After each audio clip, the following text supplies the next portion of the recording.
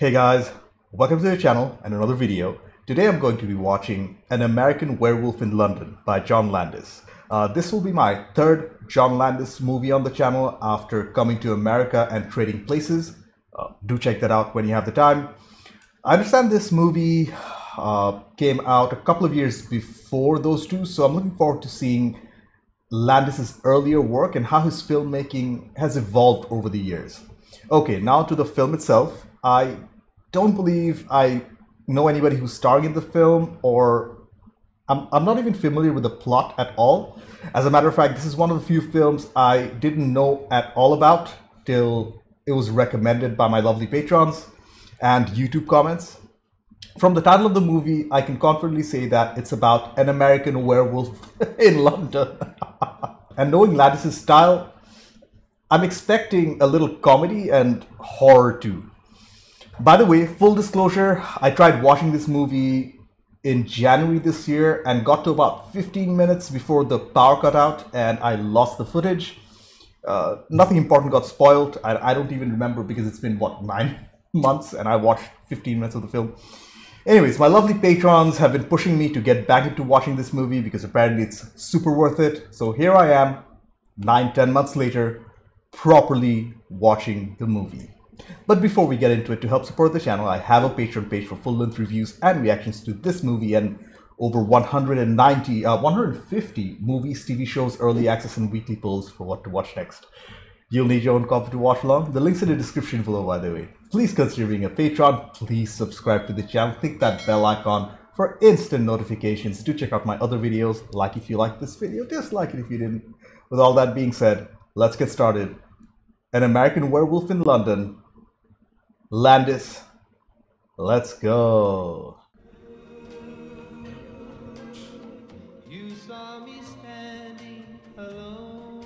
I like this song. And just as a reminder to whoever skipped the intro, I actually watched the first 15 minutes of this film in January before the power cut out. Just keep that in mind. I haven't watched past 15 minutes of the film. Frank Oz, okay, that, that's recognizable, that name. Special effects and makeup. Yeah, I've been told that the makeup work here is above average, at least. People have told me to keep an eye out for some transformation scene. So I'm guessing it's a werewolf transformation. Here are our two protagonists. Stick to the right, sir. You have lovely sheep. Boys, keep off the moors. Stick to the roads. Northern England first, Italy later. Right. I mean, we've got three months. They're making their way through Europe. Makes sense. Okay. They've arrived at this small village town. So far, I'm actually enjoying the cinematography, even though I can see the camera is not the best. That's kind of strange. With a picture of a wolf. Where's the lamb?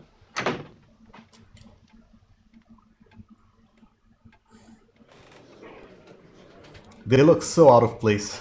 Look at that. It's used in witchcraft. Lon Chaney Jr. and Universal Studios maintain that's the mark of the wolf man. Oh, I see. They want me to ask them if they're burning candles to ward off monsters. Remember the Alamo! And jokes out the Mexican!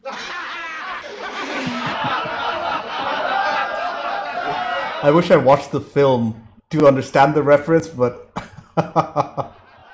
I assume it's funny. Well, what's that star on the wall for? Oh. Everybody just shuts up. Shall we go, Jack? Apparently so. You can't let them go. Stay on the road. Keep clear of the moors. That's that's what the truck driver said as well. Keep clear of the moors Beware the moon, lads. And beware the moon. If I recall correctly, moors mean empty land, grassland. Where the hell are we going? Anywhere. I just want to get away from the slaughtered lamb. You can't let them go. They're definitely hiding a secret. And we have the full moon. What do you think was wrong? I have no idea. Oh, David. Yes, I'm well aware of how pleasant the weather is in Rome at the present time. Thank you. Santa Lucia. They have really good on-screen chemistry, these two. Listen. Do you hear it? Dude, that's a that's an animal. Must go to them. They're actually concerned about them now. What was it? Could be a lot of things. The Hound of the Baskervilles? Was that a Sherlock Holmes reference? It's a full moon. They're about to get attacked. I love the darkness in the background. It's completely black. That's right, a lovely stroll on the moors. Tra-la-la-la-la. Where we going? I don't know. I'll tell you when we get there. Okay, because... Oh!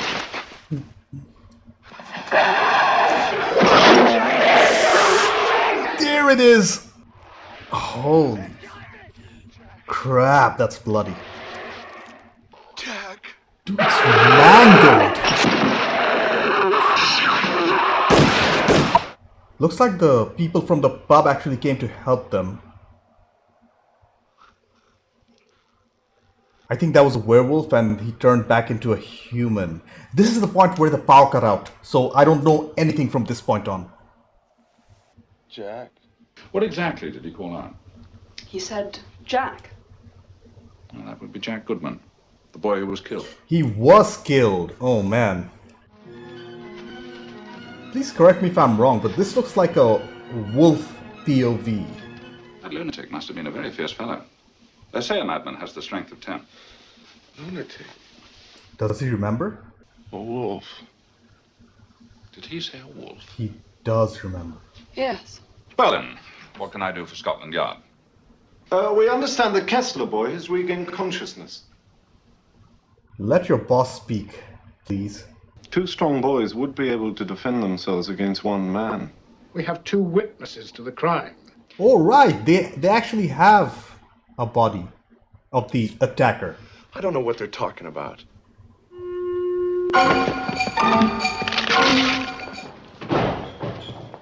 Okay, things are not making too much sense. Feeling better? No. I think this nurse might have a little crush on David. No, really, thanks. I'm not hungry. I'm not hungry. I don't want any food. Right. He's not hungry because he went hunting? Ah, oh. Yeah, there's definitely a spark there. Oh, these are dreams. Okay. It's making. Did the cops go to the slaughtered lamb? I really don't know. You're a very beautiful girl. All right, all right. Hold your horse. Yeah, this is definitely a flashback, judging by the American accents and the American looking house. What the? No, no, no, it's not a flashback, another dream. Dude, that was so convincing. I've just had a nightmare. Not to worry, I've just the thing. I don't know, I feel like.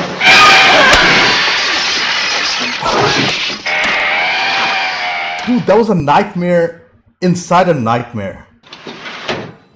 This is a little surrealist, if you ask me, at this point. Can I have a piece of toast? Get the fuck out of here, Jack. That's another dream? Am I asleep now, awake or what? This is amazing makeup work. Sorry to be upsetting you, Dave. Oh. But I had to come. I was murdered, an unnatural death. And now I walk the earth in limbo until the werewolf's curse is lifted. Werewolf curse. The last remaining werewolf must be destroyed. Oh. It's you, David.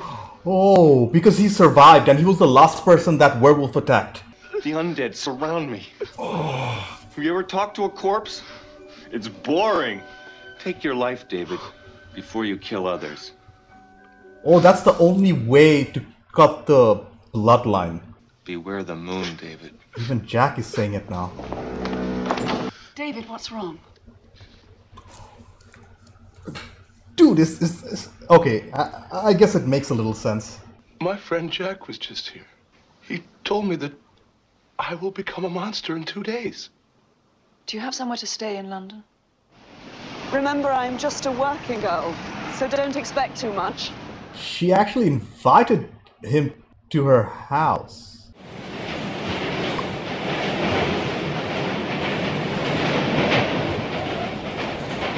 I always say films are a time capsule, and this is the UK in the early 80s. The bedroom. There's only one bed. Yeah. Yeah. Perhaps you'd like to watch telly whilst I take a shower. He knows the game. yeah, this was the 80s, and this is not a big budget movie, so I'm guessing Landis needs a little sex to sell the film. okay, now that they've done the deed and they're more than friends, where does the story go from there? Like, does he turn into a werewolf and just start killing people? Another jump scare. You're not real. Dude, the makeup is actually very good. A nurse, huh? Tomorrow night's the full moon. You're gonna change. You'll become. I know. I know.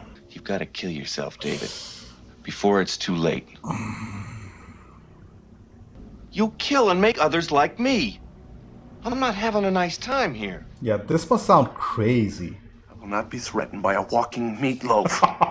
A walking meatloaf. Do I seem crazy to you? He said that tomorrow I'll turn into a monster. I'm torn between feeling very sorry for you and finding you terribly attractive. That's where you want to be, David. oh, it's the place where David and Jack were dropped off. A few weeks back. Last full moon, wasn't it? I mean, the escaped lunatic, the one who killed the boy. So, you've heard nothing of this incident? Incident? Hey, listen. That, that boy's in danger. It was a mistake to let him leave here. Stomach clean. There's something wrong with this place. It's almost full moon. He'll change. He'll... That's enough! But it's still a story to the doctor, I think. I'm off. Oh, Interestingly, I haven't seen any werewolf films. Like, I've seen plenty of vampire movies by now, but no werewolf movies. The scene is too quiet again.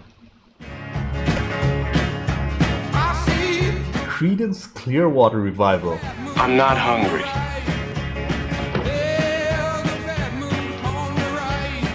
There's a bad moon on the rise. I'm still not hungry. That has been going on for a while, since the hospital, that he's not hungry. Oh man, and the full moon is out. God! What? Dude,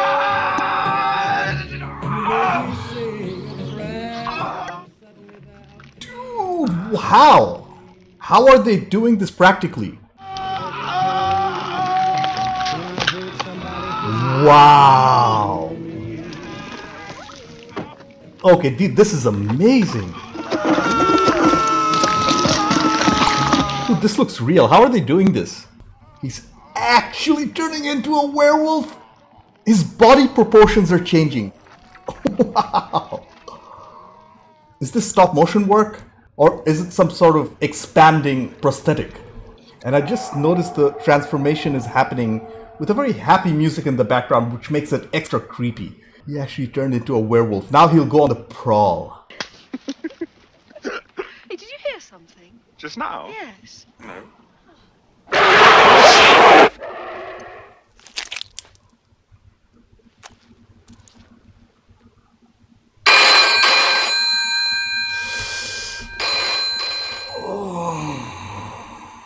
Has David persisted in his werewolf fantasies?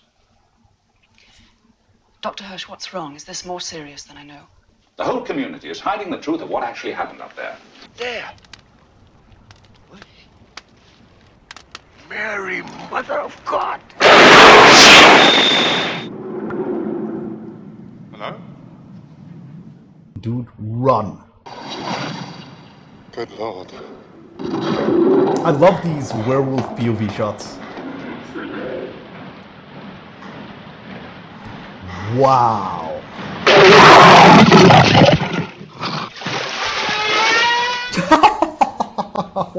what a great cut!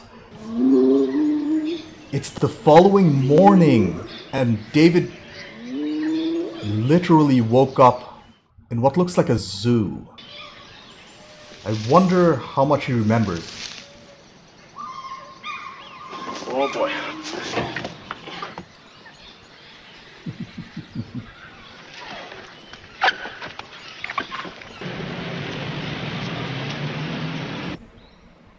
Murder victim found half eaten. I've lost my mind. I woke up in the zoo. What did I do last night? You don't remember? I want you to bring David here straight away. I want him in my care. We'll come right over. You know, my body feels great. I feel like an athlete. Last night, six of them, all in different parts of the city, all mutilated. Wait a minute. Wait! He can't account for his actions. Officer, I killed those people last night.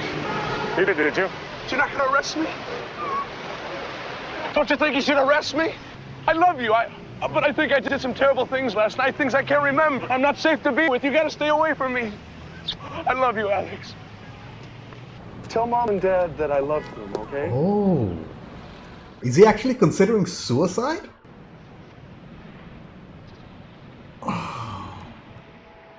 He sees Jack again. Oh man, things are about to go down. Oh dude, it's a porno film. Ooh, he's barely recognizable. Aren't you gonna say I told you so? If I were still alive, I probably would. This is Harry Berman. Hello. Hello.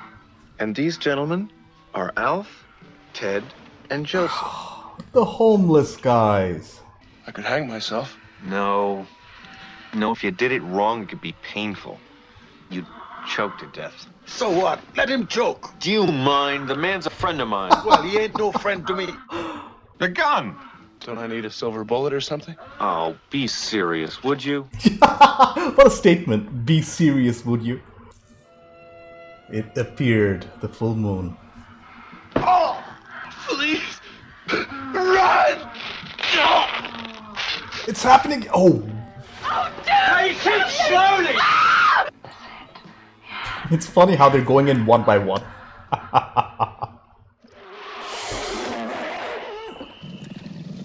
oh. Yeah, I don't think there's any escape from this now. Dude! He's dead.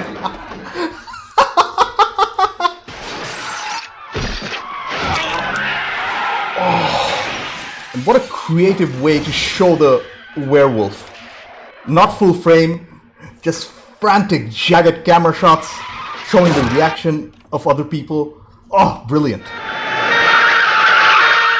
David. It's David.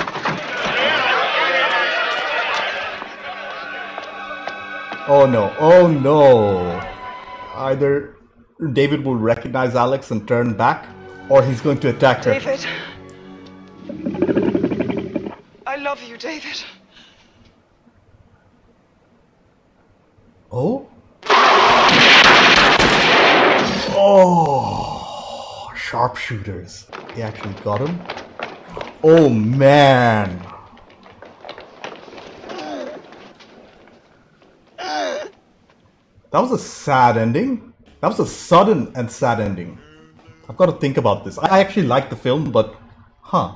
Thank you for the recommendation, guys. Okay, I took some time to collect my thoughts. First off, that was such a different film to what I've been watching recently.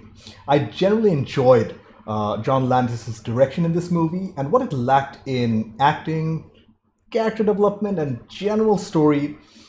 It made up for in spades in jump scares, uh, the soundtrack, and most importantly, the insane production design, that being the makeup, prosthetics, and that crazy transformation scene, which we'll talk about. Let's start with the directing and writing by John Landis. This was one of his first films, and I can clearly see that it's a passion project. I honestly felt this film was a little rough around the edges in terms of story, acting, uh, and, and the performances. But on the other hand, it really felt raw and authentic as a movie. I mean, the story was pretty simple with David and uh, Jack backpacking through the UK before they get attacked by a werewolf. Uh, Jack dies and David survives. The town people intentionally try to cover it up uh, and ship David off to London with a somewhat plausible story of a madman attack. uh, there's a whole subplot of the doctor being the detective and figuring everything out. Anyways, David starts seeing the nurse Alex from the hospital and moves in with her after um, his recovery, while also seeing visions of his friend Jack, who tells him he must kill himself to cut the bloodline of the werewolf. If he doesn't kill himself, he'll transform into one the following full moon and in turn go on a killing spree himself. Oh, and also, until the bloodline is broken, all his victims are stuck in limbo. I have to question the visions though. How, how real were they? I mean, there were clearly visions, so how can there be truth to it? Uh, does it does being turned into a werewolf automatically allow for these visions? I mean, did that happen to the last guy who went through this? Uh, was Jack even in limbo? Um, I think we are meant to believe that to, to a certain extent, since everything Jack said did come true at the end. Uh, that was a little unclear in my opinion. But then again, that may have been intentional by Landis to keep things mysterious, and that's where I think the whole absurdism comes in play. The situation is so absurd that you get pulled into this rabbit hole and see everything unfold by yourself. Also, uh, there was a lot of subtle humor in this movie, stemming from the aforementioned absurdism. Although I have to say that there were a lot of unanswered questions here. Why wasn't David hungry at any point in the film? Maybe he was craving human flesh.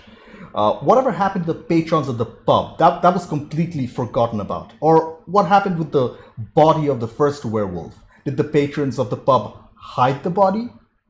How big of a conspiracy does it have to be? I mean, I'm guessing it's not a, a big conspiracy as it would be a very difficult task in keeping everything under the lid because secrets get out very quickly, especially if it's a secret held by a large group like that. On the other hand, we have to keep in mind that it was the early 80s and phones and cameras and information wasn't as fast spreading as they are today. Anyways, it's something to think about. The ending of the movie was surprisingly sad. It was gloomy, almost predicted by the horrible weather that we saw the entire, entire runtime. Well, then again, that's the UK. I found it rather satisfying though, the ending, as I did not expect it at all. I mean, he gets killed by the police. He recognizes Alex for a second and then just goes attacks her because, you know, that, that's, that's what a werewolf does apparently. Uh, let's talk about the performances though. Uh, I thought everybody was pretty good in their roles with the notable exception of David Kessler's character played by uh, David Naughton. I, I, don't know how to pronounce his name. Please correct me uh, in the comments below. Please don't murder me since it's a well-loved film, but I thought his performance was a little weak. Uh, for example, when he called home to tell his parents that he loved them, his face didn't convey that he was about to kill himself, that his life was about to be over. I mean, he was in love with this girl. Apparently, he, he, he had good parents and a sister who's, what, only 10 years old. So he had a lot to live for. So I'm, if I were in the same position, I would be like bawling my eyes out, or at least show some sort of emotions. He was actually telling his sister that he at 10 years old, his parents never left him alone. Is that something you're thinking about when you're near death? Is what I'm asking, I guess. Even like in, in, in, situations like that where he was fearing for his life, it didn't seem very believable, like compared to his friend Jack, played by Griffin Dunne. Uh, Griffin Dunne did a very good job with his role. I, I had no issues with him. Or even the actor playing the nurse or, or the doctor. I also think the film lacked character development of our lead, David. He was the same person at the beginning of the film and the end of the film, too. Even though he recognizes he should end his life, I don't I don't think his body language conveyed that. He doesn't do it and has to be killed off by the police. Landis's overall direction here was much stronger than his writing, and I think it was a pretty good job because the movie itself felt pretty coherent and well put together. The music in this film was very good. Uh, and I think it was used pretty smartly, but but but the director had a habit of cutting the music before every single jump scare. By the third or fourth time, I was bracing myself because I knew something was coming.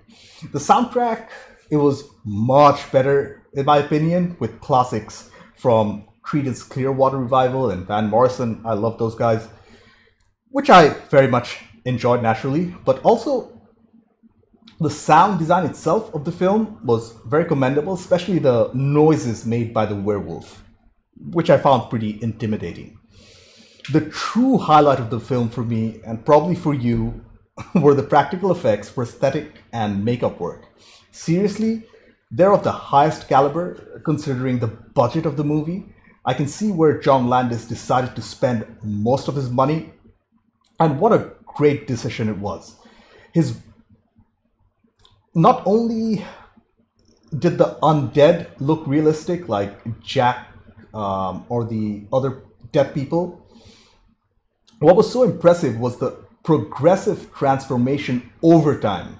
The amount of change to the point that Jack didn't even look human anymore. That was pretty scary. I think by the end, Jack was portrayed by an excellently made prop with so many moving parts, which I always appreciate.